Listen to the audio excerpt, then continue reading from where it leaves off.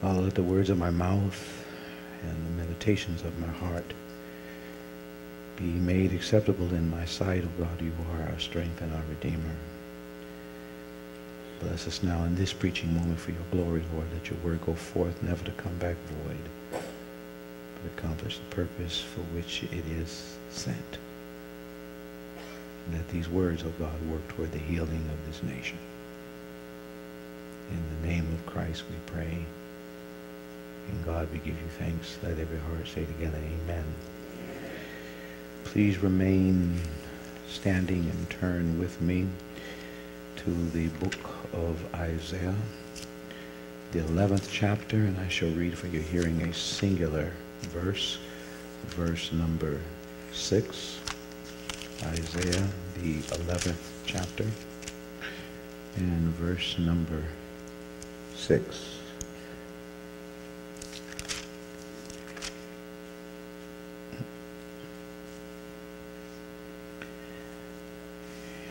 I'm reading from the New International Version as it uh, appears on your screen.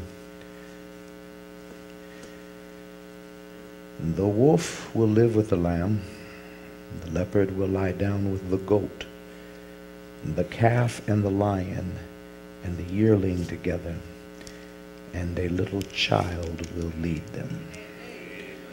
The scripture as it is written, and it is always our prayer. God will bless us in the reading and the hearing of his most holy word. You may be seated in the presence of the Lord and each other. And as you take your seat, I ask that you would reach out and take at least one somebody sitting within arm's reach of you and take them by the hand and say to them, Friend, it's a shame when our children have to call us on our BS.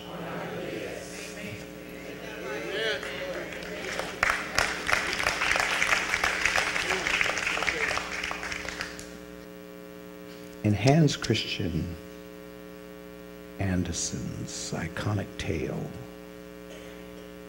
entitled The Emperor's New Clothes,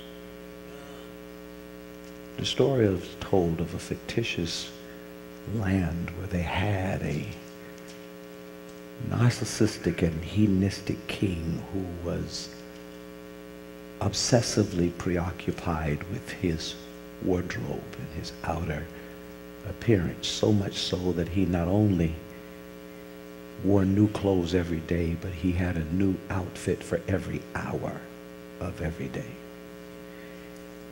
His seamsters and seamstresses and tailors were frantically busy 24 hours a day around the clock, weaving the patterns to don him a new outfit.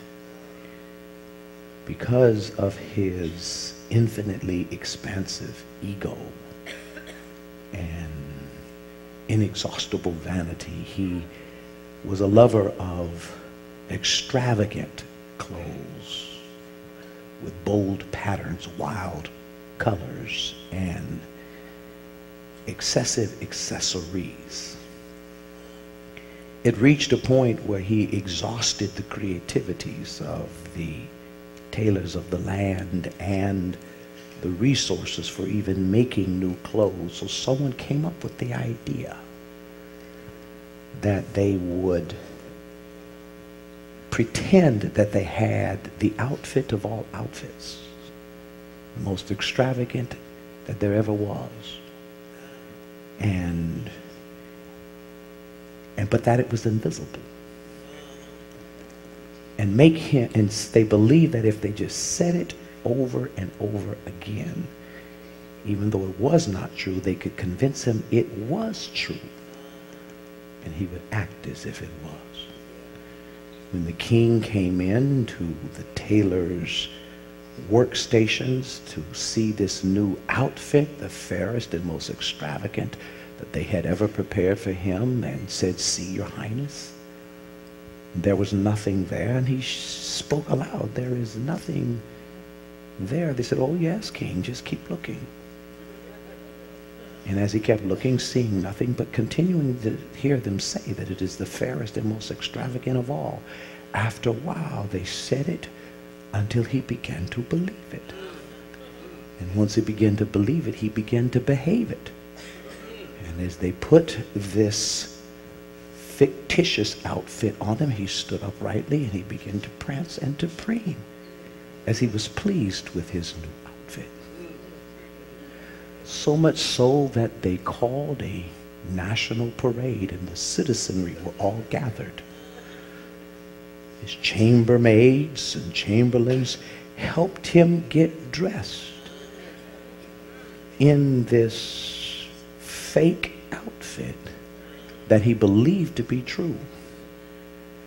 They too, at first, saw nothing, but as they were told over and over again that it was something, they too began to believe it and began to behave it and begin to act as if they were actually dressing him and buttoning him and robing him and tying the sash around him.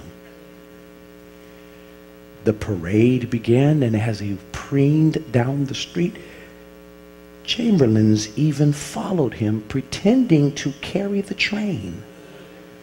That was not. But they believed it was. The crowds who had gathered had been told in advance that the king would appear in the fairest and most extravagant of all outfits. They had been told so many times that their belief that he was wearing an outfit mattered more than their eyes telling him that he was wearing nothing at all. And so, as the king strutted in what he believed to be a new outfit, and the chamberlains carried the train that they believed that they were carrying, the crowd stood and wildly applauded the new outfit they believed he was wearing. Until a child finally, at last, young enough to be seated on the lap of a parent, too young to have been indoctrinated and internalized the rationalizations and the justifications uh, of the adults. Simply, in the words of the prophet Tupac said, I just call it like I see it and blurted out, He's naked. Or as black folks say it, naked. And as the father of the child proudly repeated it, and those around them heard it, and it snapped them out of their gaze and the hypnotic state that they were in because of the repetition of the lie. A murmur started in the crowd. And a whole new conversation began that started from a child who blurted out what the adults were in too big of a daze to say. It is a sad day when adults are so deafened and so blinded and so hypnotized by their own BS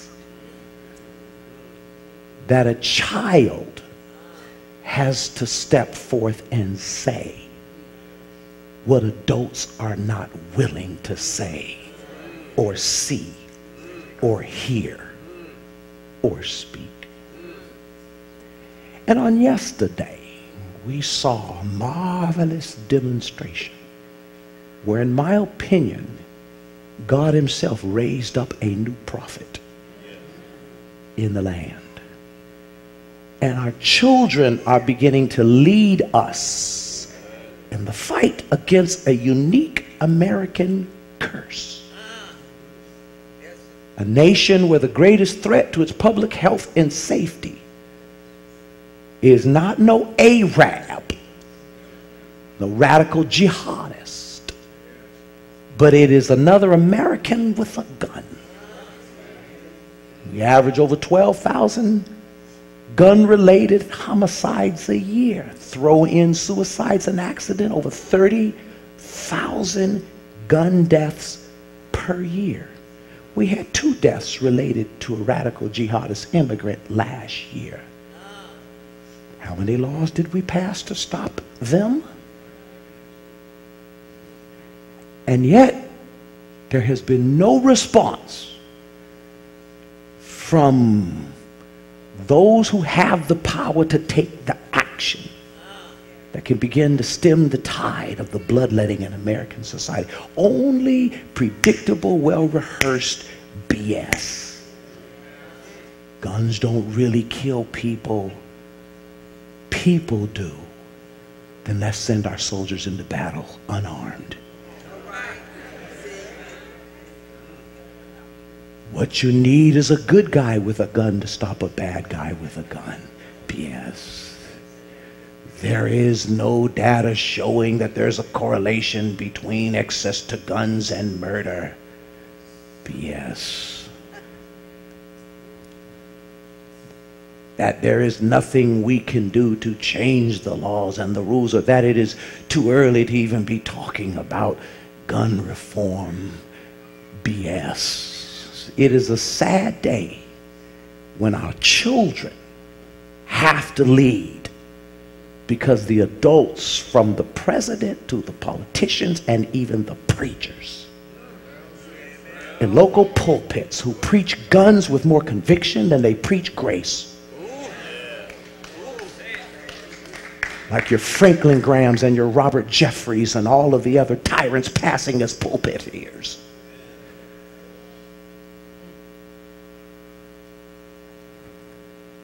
the children have to lead. When children have to lead us, it is the most scathing indictment that our adult population has become dysfunctional. And our children's childhood, in part, is stolen. Because now they have to provide for themselves what we as adults are obligated before God to provide for every generation of children. Most basically, we adults are obligated before God to provide our children with, with shelter, sustenance, and security. Anybody who's read any sociology, psychology 101 knows in Abraham Maslow's hierarchy of human needs that at the base level of human need, there, there is shelter, sustenance, and safety.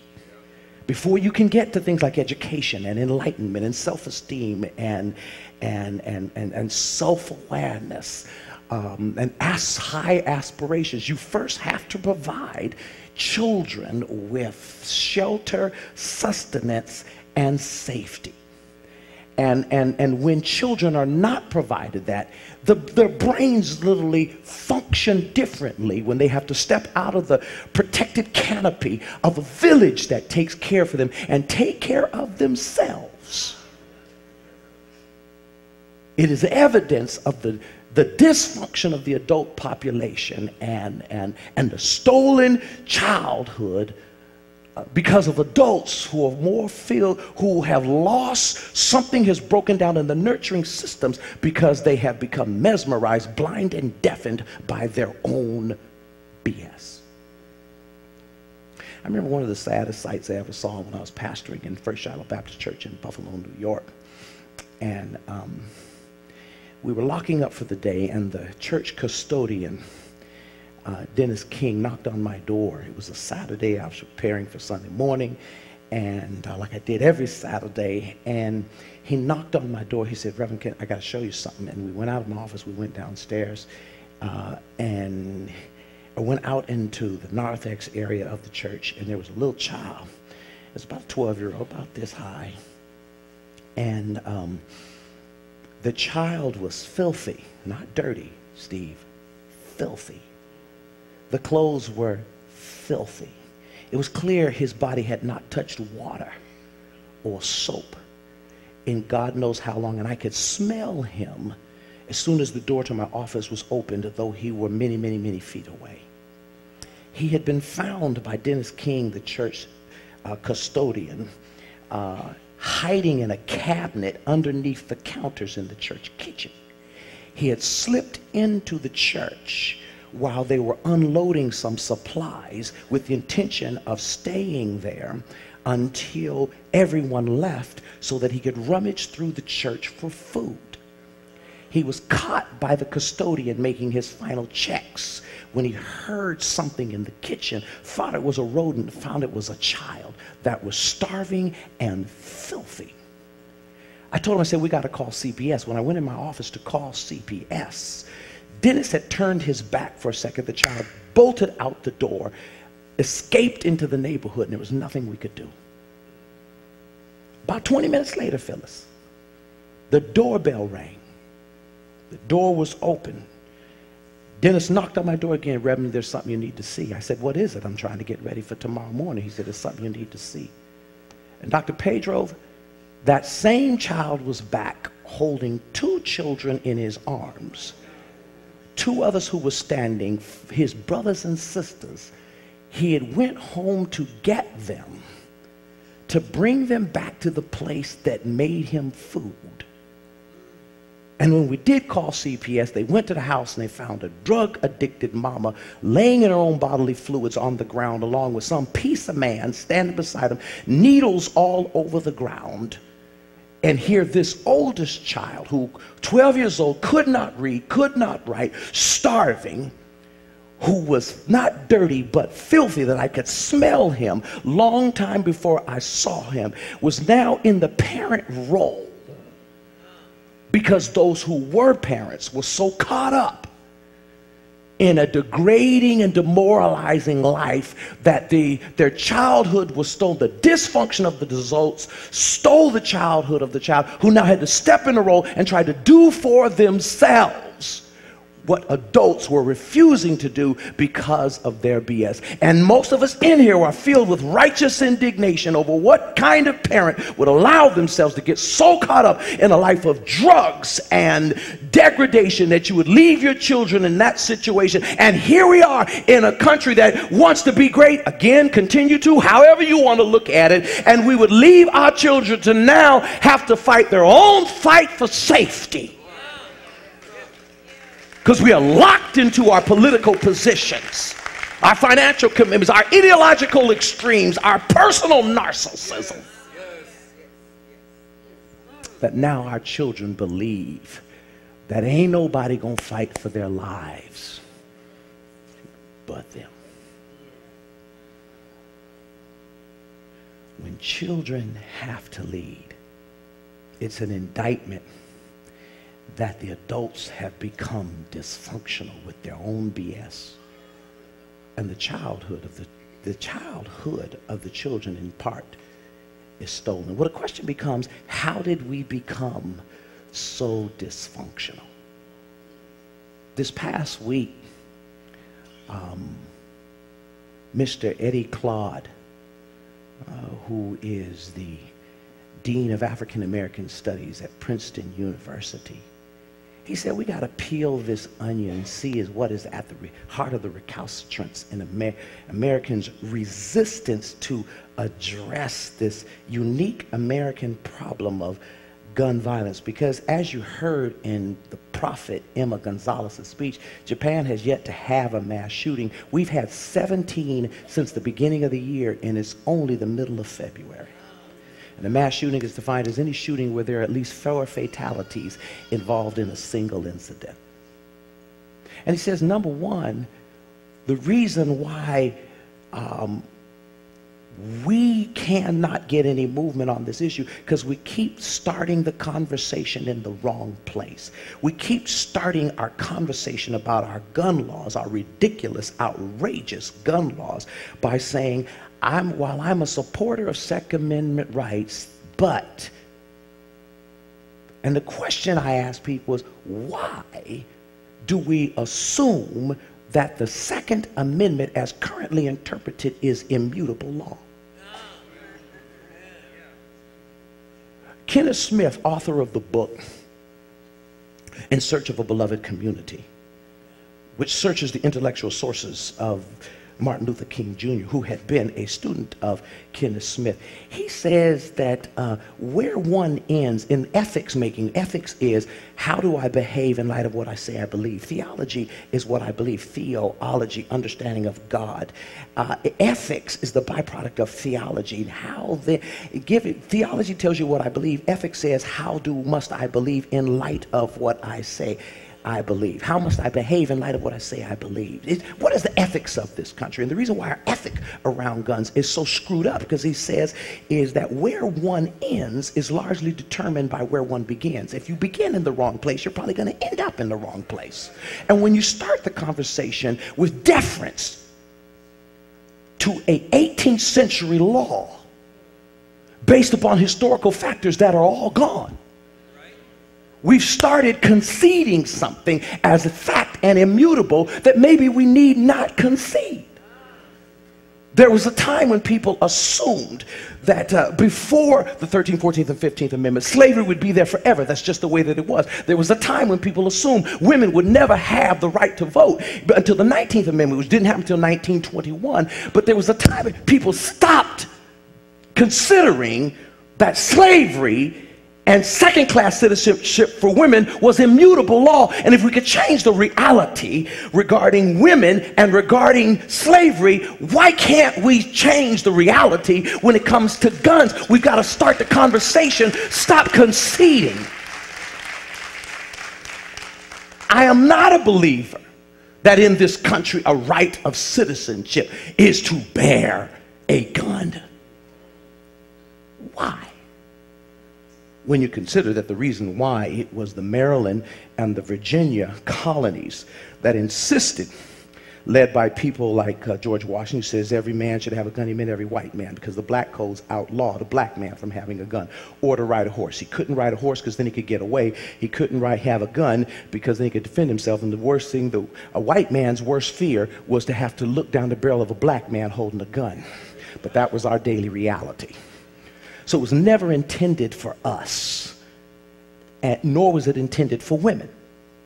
Um, but George Washington said every man should have a gun. But Maryland and Virginia had the largest slave plantations and the largest uh, slave population in, per capita in comparison to the white population. And the four factors that drove them insisting that if they were going to support the Bill of Rights, that the Second Amendment had to be in it was number one, because they reasoned that with the gun they could form militias that would help them free themselves from the colonial control of England, the largest and the strongest army and navy in the world at the time. And that two, they could avoid the reconquest of the British uh, number three, that with the gun they could dispossess the native peoples of their land from sea to shining sea the Navajo, the Cherokee, the Apache, the Seminole, the Duwamish, the Puyallup, the Seneca, Indian, all the hundreds of tribes that they could dispossess them of their lands because a bow and arrow was no match for a musket. Fourthly, that they then could import the Africans and subject them to a life of chattel slavery because they would live, we would live our lives literally at the barrel of a gun. What did Weldon Johnson called it? Days when hope unborn had died. And fifthly, actually, there was a fifth reason that in the westward movement going west, in the land grabbing, eh, that they had to be prepared in the frontier. They had to be prepared to defend themselves against other settlers who were grabbing for the same land. And without sheriffs and without local police, you couldn't grab and hold any more land than you were able to defend. So, from the standpoint of a white man in the 18th century, I understand why they believed that they had to have a gun to free themselves from their own colonizers and to steal the land from the Native, Native Americans and to force slavery on other people and to defend themselves against other white folks with guns. Now that all those factors are gone, the only thing left is this romanticized, fantastic notion about there is no real patriotism without a gun. And as a result, America uniquely has a problem with death at the hands of guns 30,000 per year. Isn't it interesting that every other manifestation of threat to public health and safety was responded to by the passing of laws? We, um, When automobiles became a problem with death on the highways, seatbelt laws, increasing the requirements to even get a license. Manufacturers had to make cars differently. Some of us complained it seemed like cars are always total. That was by design so that upon impact, the car would absorb the energy and would fold like an accordion so that the car absorbed the energy and not the passengers in the car. Because formerly they were built for the car to withstand the accident, but the people in it died because their bodies absorbed the energy. So they flipped it. The car will fold like an accordion. You will walk away and praise God that somebody had sense enough to change how cars were built to protect human lives. Huh? Anybody who's a caterer knows that the health inspectors require that you have to keep certain foods at a certain temperature of coldness. The water has to be at a certain temperature of hotness to kill bacteria because if you don't, people's lives can be at risk and health can be at risk. We and now we almost go through body cavity searches to get on a plane after 911. Every instance of threat to public health and well-being has been followed up on by new laws and new regulations to protect Americans and yet the leading cause of death in America, there is not a single response. That's BS.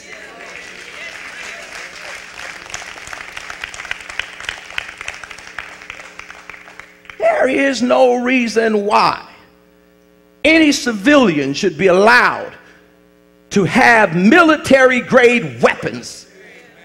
An AR 15 has a, has a, a, magazine clip of at least 33 rounds that it can fire off in 30 seconds if it's fully automated. It's intended for one thing to kill as many people as quickly and as efficiently as you can. You can't use them for hunting. You don't need it to fend off a burglar. And why would a civilian in a non military setting need military grade weaponry? That is BS and your hedonistic, narcissistic fantasies about why you need to have such weaponry should not trump my need to be safe from the neighbor next door who may not take their medication. As Obama said, we may not can stop killing, but we can stop mass killing. As Emma said, he couldn't have killed that many people with a knife, nor a six shooter. And if the shooter in Las Vegas in October had had a six shooter, he couldn't have killed 58 people and left 812 dead. It was because, as a civilian, he could get stockpiles of military grade weapons with infinite rounds of ammunition under the auspices of the Second Amendment right. Most people defend the Second Amendment if you ask them on the spot to quote it, they can't quote it. They're defending something that they don't know, they're defending a myth, a mindset. It's the shortest of all amendments. A well regulated militia, comma, necessary for the preservation of a free state, period, the right, or semicolon, the right of the citizenry to keep and bear arms shall not be abridged. The second word in is regulated. And yet the current rhetoric is that if we take bump stocks, if we have universal background checks, if we make limitations based upon mental health, what will they take next? We're on the slippery slope. When even as it reads, it says not only regulated, but well regulated malicious. Ain't nobody in here in a militia because the sun has set on the British Empire. We are no longer held in bondage other than prisons. And Geronimo, Cochise, and Sitting Bull, you put them on reservations long time ago. The only thing left is this obsessive, compulsive, ridiculous notion that there's no such thing as American citizenship without a gun. That is BS. And if you don't want to listen to me, listen to your children. The children whose bodies were ripped in half by the AR 15 at Newtown at five and six years of age, almost all of them had that closed casket funerals. They weren't old enough to raise their voices, and now there's an army of digitally armed soldiers whose childhoods are being stolen, who cannot function, who cannot focus on their trigonometry and their history and their civics lessons because they're wondering who's coming through the door.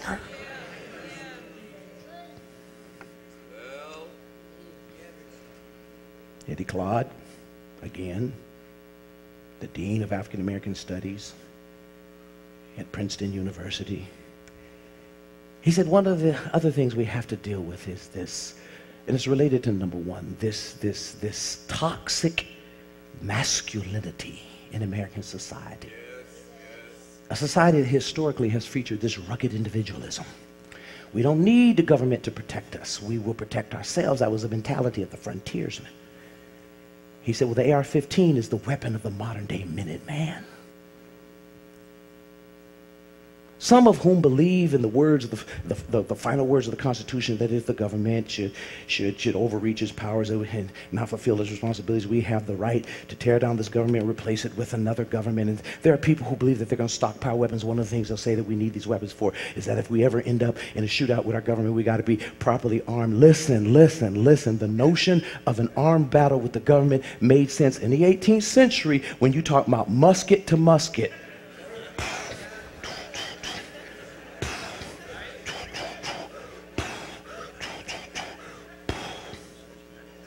Well, now the government has drones and the government has rocket launching helicopters. The government has nuclear weapons. The government has night goggles. The days of thinking you're going to take this government down with your weapons at home are long gone. And uh, I don't know if you just yourself are psychotic or you're not paying attention, but you can't outgun this government. Not in the 21st century. That was an 18th century proposition, not a 21st century proposition. Come on, keep the text in the context, or you may be functioning from a pretext.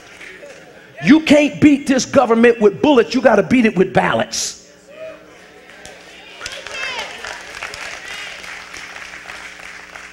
Huh? And so here we are. This sense of rugged individual is this sense of I'm a man because I own a gun. Where did that come from? How distorted a sense of masculinity that you feel that it's your right as a man is to have a gun because almost exclusively these shooters and these mass killings have been young white males with a few exceptions, but generally speaking, there have been only one female in the last two decades involved in a mass shooting. This is a male thing, and it's a young male thing, and almost exclusively a white male thing. And if that bothers somebody, listen, listen, as a black man, the most analyzed and scrutinized and studied segment of the American population, Moynihan said in 68, we're a tangle of pathologies. Listen, if folks can dissect us down to our DNA, it's time to talk about why are white boys so crazy?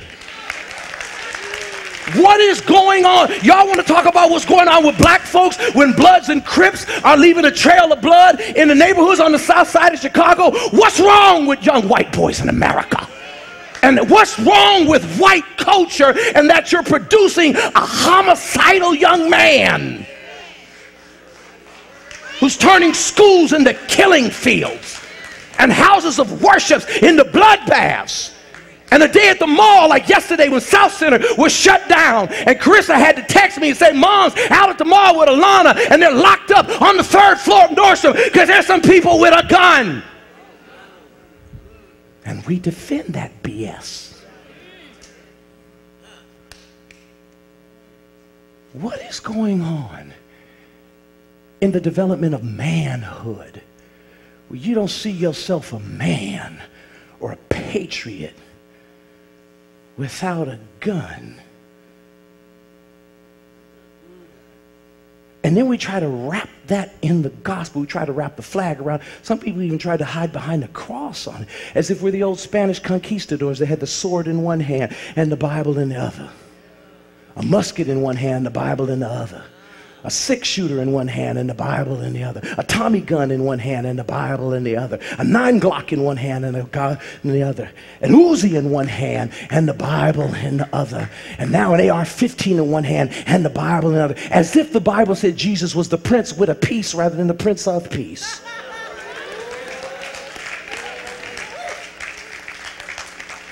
Who said the weapons of our warfare are not carnal.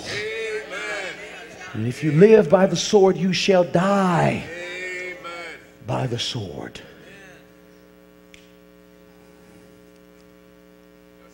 But think, but, but, but, but thirdly, Mr. Glaude, and I'm quoting him, it is Black History Month. It's the one month of the year where folk who ignore us all year long act like they're listening to us in the shortest month of the year. So since you act like you're listening to us, I'm going to talk to you. He said, finally, we got to follow the money. This conversation is not an honest conversation about the right to bear arms. It really is a conversation about the right to sell arms. Because the weapons munitions, whose political arm is the NRA, they just want to sell arms. They put $30 million, you said, they put $55 million into the last election on um, Meet the Press this morning. $55 million in the last election, the NRA put into the election, 30 million went to Trump. Governor Scott of Florida, over $10 million. Senator Rubio, over $5 million. And at every level, they have bought public officials to win their elections and who are afraid of running against somebody else heavily funded by the NRA to run against them and run endless ads will not speak against this issue because of the money. And all the weapons industry wants to do is simply sell more guns. That's all they want to do. Now, politicians, they just want to win the next election. All that rhetoric about we as Americans being together and all that, that's to manipulate you. They don't believe that. If you think these politicians believe what they say, and if you think Trump believes what they write for him to say that he won't stay on script, because first of all, he can't write and he can't half read.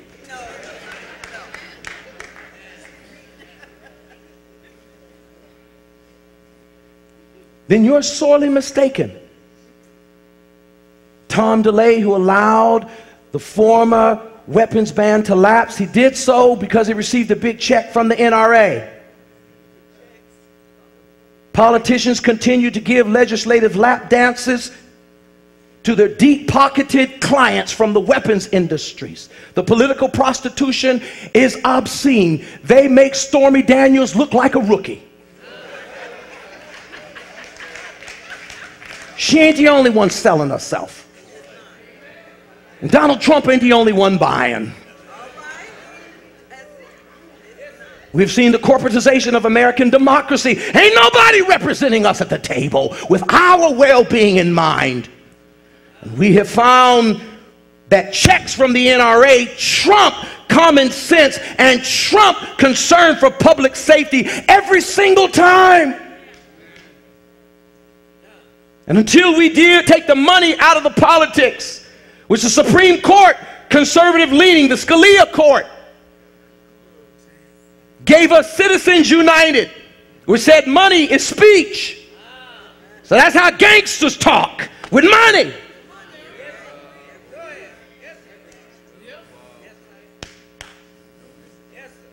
To trump your little vote, to trump your little donation. And pouring in money that doesn't then have to be identified where it came from. Until you get the money out of politics, you're not going to have a government that is representing you. But you're being hoodwinked. You're being took. You're being conned. You're being swindled. You're being hoodwinked. You're being bamboozled. And so, as a result, last year in America, 769 people died because they fell out of bed. 15 new laws were passed for American bed manufacturers to change how beds are constructed, even how high they are off from the ground. But over 12,000 died at gun homicide, and over 30,000 died of gun accidents, not a single law. And that's BS. But sometimes, my brothers and sisters, we see as yesterday, when the adults are so locked down with their ideological BS, they're being leveraged by corporations, that BS. Their obsession with winning the next election, that BS. Their under the table dealings, all of that BS. So much so that the children have to fight their own battle, then fight. Because my reading of history shows that When young people get serious about serious things while they're still young, history changes. When young people get serious about serious things while they're still young, history changes. When adults are so blinded, deaf, and dumbed and hypnotized by their BS, sometimes God has to lead with a child. Now, see, the reason why I read Isaiah here in the 11th chapter is because he's giving us a picture of when God's Messiah would come. And his kingdom would make some inbreaking into earth, some fragmentary actualization of the kingdom of God, that which is possible in human history given human limitations that the root of Jesse, Jesse is only used one time in scripture that's referred to the father of David because David was given an eternal throne for which there was no end, and Jesus was the ultimate fulfillment of that promise as part of the root of Jesse. Salvation would come to the world, of the Jews and the Gentiles, through the root of Jesse. And when Messiah would come, you would know because there would be a breaking of the curse of, of, of, of uh, the, the curse of Eden. Because you know, in the Eden's garden, when man's human humanity's sin entered the garden, the ground, the sun that had previously given of its yield uh, effortlessly, now was replete with thorns and thistles, and only by the sweat of his brow would man eke out a living from a stingy earth in Eden's garden because of man's sin. Now, the animals that sat down and lived in harmony without being divided between predators and prey, suddenly, all of a sudden, big, strong, fierce animals preyed upon small and defenseless animals. And now even the and then even the human family would be divided between predator and prey as we would see in the first sons when when Cain would slew Abel, he would be his brother's killer rather than his brother's keeper. But when God's kingdom would come in some fragmentary break in, some momentary break in, we would know because the curse of Eden would be broken and the world would become a safe place. And it would no longer, the human family would no longer be divided between predator and prey, between haves and have nots, first world and third world nations. The strong would not be the burden of the weak, but they would bear the burden of the weak. And that man's harmony would permeate creation. So when man got and one man got right with God, man's righteousness, Sadiq, would translate into righteousness throughout all nature. And the wolf would be able to lay down with the lamb because the lamb wouldn't have to run from the wolf and the wolf wouldn't have an appetite for the lamb. And the leopard would be able to lay down uh, uh, with, the, with the goat and the goat would not have to fear the, the leopard and the leopard would not have an appetite for the goat. And the lion would be able to lay down with the calf and the calf would not have to fear the lion and the lion wouldn't have an appetite for, uh, for the calf. And, and these were the fierce animals in Palestine in that time. It was the leopard, it was the lion, uh, it was the wolf. They didn't know anything about, uh, uh, uh, about the cheetah. They didn't know anything about the alligator. They didn't know anything about the tiger. They didn't know anything about the, the black panther. They didn't know anything about those.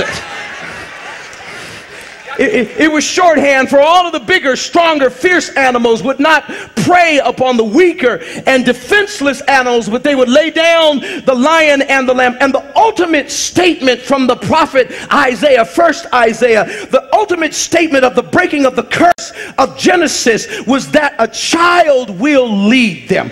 A paidion. Jesus said, except you come to me as a child, you shall not enter the kingdom. A child without legal rights, a child without protections the law, a child without entitlements or prerogatives, that we would live in a world where the last become first, the first become last, and that the world would be so safe that even a child could step out and lead because we had take the predator and prey dynamic out of our world. That's what he's saying. Oh, but when adults get caught up in their BS, lambs don't want to get nowhere near wolves, and goats don't want to get anywhere near leopards, and calves don't want to be anywhere near lions, and haves get no mercy from haves nots, and rich get tax breaks that make them richer, and poor they want to take away meals on wheels and cut food stamps because there's predators and there's prey.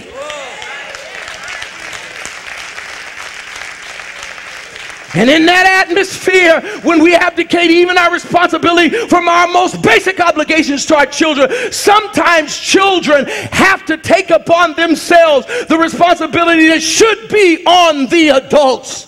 And I come to tell young people if the adults will not fight for you, from the president to the politicians to the preachers, maybe even your parents, if they are so mesmerized and anesthetized and blinded and deafened and dumbed by their BS, then you stand up and fight for your doggone self. An army called to arms with your digital weapons, with your cell phones, and with your iPads and your computers. Shame them. Put their voting records on the internet. Show how much money they're taking from their sugar daddy, their pimp daddy NRA. Show who they really are.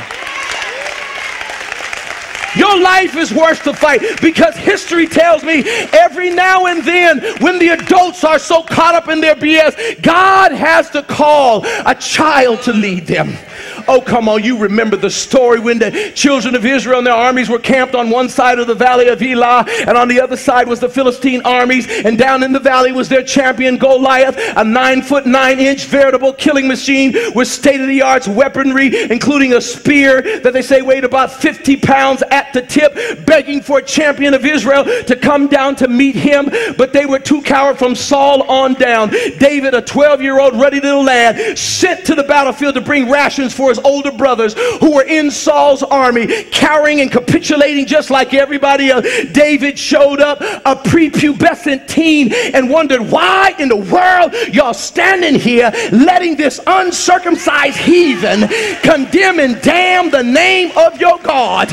I will go and fight the giant. I can't fight with Saul's army. I cannot go with that. Just give me my slingshot because I believe the God we serve is a giant killer if somebody will just trust him. David stepped out there while the adults were caught up in their BS that made them afraid to fight him. Saul afraid, his brothers afraid.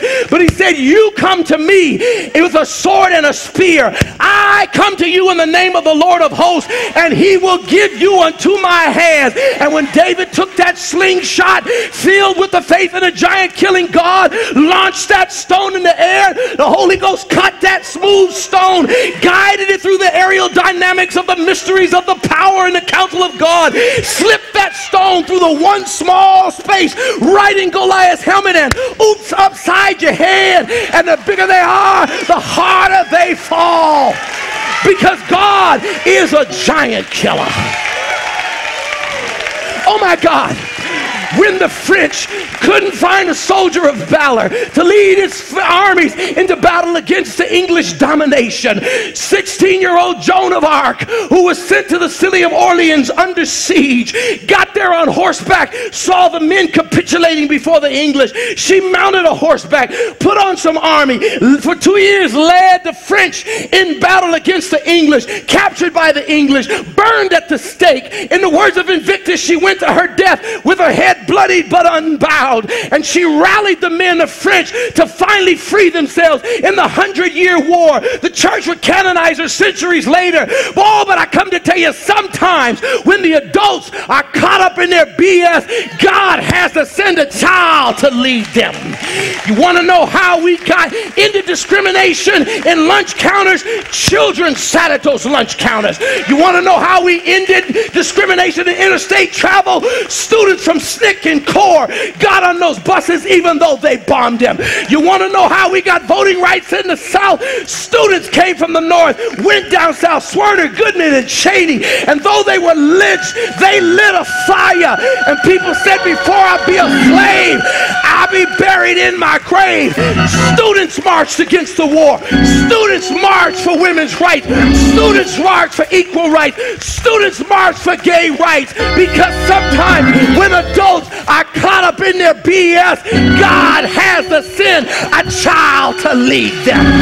So I'm calling you to arms to man your weapons, woman your weapons, and believe that God will make a way somehow. Because my Bible tells me it was a young adult that was born in Bethlehem, raised in Nazareth, who went to Jerusalem to pay a debt that he did not owe because we had a debt that we could not pay. It was a young adult who they lifted high and stretched him wide. It was a young adult who they pierced him in the side, drove the nails in his hands. It was a young adult who laid his head in the locks of his shoulders and said, It is finished. It was a young adult who they laid in a borrowed tomb, sealed the tomb, put soldiers outside the tomb. But when they came back Sunday morning, God had reached down, raised up that young man. My grandma called him Jesus, a wonderful counselor, a mighty God, a prince of peace, an everlasting father. I serve a God that is a giant killer. Have I got a witness? Touch your neighbor and say, neighbor, it's a shame we get so caught up in our BS that our children have to fight for themselves. I want to say to the children, well, fight on then. Harder yet may be the fight.